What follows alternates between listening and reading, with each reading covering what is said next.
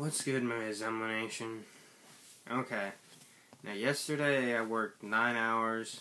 I have another eight hour shift today. And this will be day five of working at Walmart. So, I'm going to be work. I've worked a lot of hours yesterday. It is exhausting, but um, I have another exhausting day. It's going to be another long day, at least. For Sunday, I don't have to work in the morning. I work at night at 5 p.m. So I work later in the day, which I'm glad because then I actually get to rest.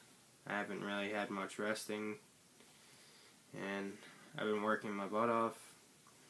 And plus, I want to try. Hopefully today I can try to at least get close to finishing pathways because I'm I know I'm 95% of the way done, which is a program we do at Walmart for training.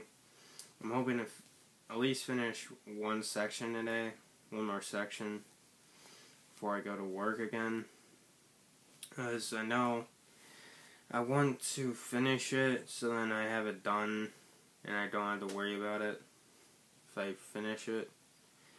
So, yeah that's about it for today. So, peace out, your boy Zumbo, and hashtag the Zumbo Nation.